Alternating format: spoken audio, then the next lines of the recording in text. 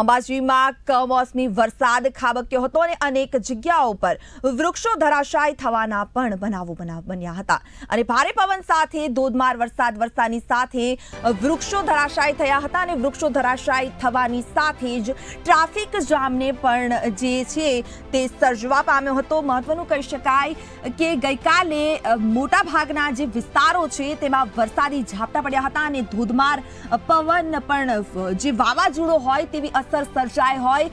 વાવાઝોડા સમાન ભારે પવન સાથે વરસાદ પડવા પામ્યો હતો અને અંબાજીમાં કમોસમી વરસાદ પડવાની સાથે જ ત્યાંનું જે જનજીવન છે તે પ્રભાવિત થયું હતું. મહત્વનું કહી શકાય કે અંબાજીમાં તો વૃક્ષો પડવાના પણ બનાવો બન્યા હતા. ગઈકાલે ભારે પવન ફૂંકાવાને લઈને વાવાઝોડા જેવા દ્રશ્યો સર્જાઈ રહ્યા છે. આપ ટીવી સ્ક્રીન પર જોઈ રહ્યા છો કે વાવાઝોડું આવ્યું હોય તે પ્રકારે ભારે પવન સાથે જે વરસાદ પડી રહ્યો છે, જેને લઈને જે વસ્તુઓ છે તે પણ ઉડી રહી છે અને જેને લઈને વૃક્ષો પણ ધરાશાય થયા હતા. મહત્વનું કહી શકાય કે, આ પ્રકારનો જ્યારે માહોલ હોય ત્યારે રસ્તા પર નીકળવું પણ મુશ્કેલ થઈ જતું હોય છે અને આ પ્રકારના માહોલમાં વાહન ચાલકોને ઘણી જ મુશ્કેલીઓ પડતી હોય છે. ત્યારે કેટલીક જગા, જગ્યા પર અકસ્માતના પણ બનાવો વધી જતા હોય છે. આવી જે કુદરતી આફતો કહી શકાય, કુદરતી જે કહેર કહી શકાય તે પ્રકારે જે વાહન ચાલકો છે તેને પણ મુશ્કેલીઓ સર્જાતી હોય છે. ત્યારે ગઈકાલે જે વરસાદ પડવા પામ્યો હતો અંબાજીમાં, કમોસમી વરસાદ ખાબક્યો હતો અને ભારે પવન સાથે કમોસમી વરસાદ વરસ્યો હતો. અંબાજીથી આપણી સાથે ફોનો લાઈન સાથે અલ્કેશ જોડાઈ ચૂક્યા છે. જી, અલ્કેશ આ જે વરસાદ પડવા પામ્યો છે, કયા પ્રકારનો માહોલ હતો ત્યાં? જી, ચોક્કસ જણાવી દઉં કે સાંજે સાંજેથી જે ભારે પવન સાથે અને જે ભારે વાવાઝોડા સાથે વરસાદ ખાબક્યો હતો, વીજળીના કડાકાના ધડાકા સાથે વરસાદ ખાબક્યો, એના લીધે અંબાજીના અંદર જે જાહેર બોર્ડ લગાવેલા હતા, એ પણ ઉડી ગયા હતા. મોટા મોટા હોર્ડિંગ પણ પડી ગયા હતા. અને આજુબાજુની સોસાયટીઓના અંદર પણ પાણી ભરાઈ ગયું હતું વાહન ચાલકોને પણ ભારે નુકસાન, ભારે હાલતથી જોવા મળી હતી. આજુબાજુના જે ખેડૂતો છે, ખેડૂતોમાં પણ ભારે ચિંતા પસરત જવા પામી હતી કે આજે કમોસમી વરસાદ છે, એના લીધે એમનો ઊભો પાકને પણ પકડવાની સ્થિતિ સર્જાઈ, સર્જાવા જોવા મળી હતી.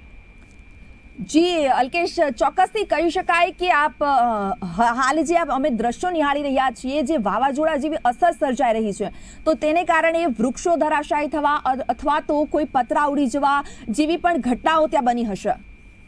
હું ચોક્કસ જણાવી દઉં કે રાત્રે દસ વાગે જે ડીકે સર્કલ ઉપર જે મોટું હોર્ડિંગ છે અને જે અંબાજીનું મોટું બોર્ડ લગાવેલું હતું, એ પણ ધરાશાય થયું હતું, પણ સદનસીબે કોઈ જાનહાનિ થઈ નથી, કારણ કે જે દુકાનો વાળા છે, દુકાનો બંધ હતી અને ધરાશાય રાત્રે સાડા દસ, અગિયાર વાગે જેવું પડ્યું હતું.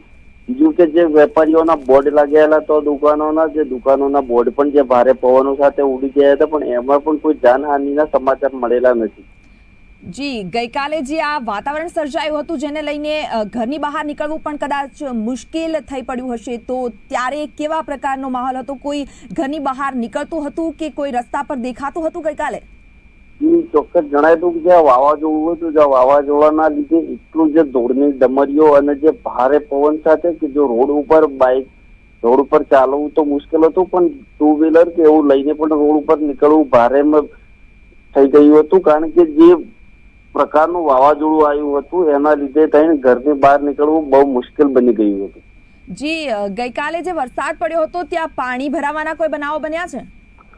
એ ચોક્કસ જણાવી દઉં કે પાણીના જે પોલીસ સ્ટેશન આગળનો એરિયા છે ત્યાં પાણી ભરાવી ભરાવવામાં આવ્યું હતું. એની બાજુમાં જે સોસાયટીઓ છે એના લીધે થઈને સોસાયટીઓના અંદર પણ પાણી ભરાઈ ગયું હતું.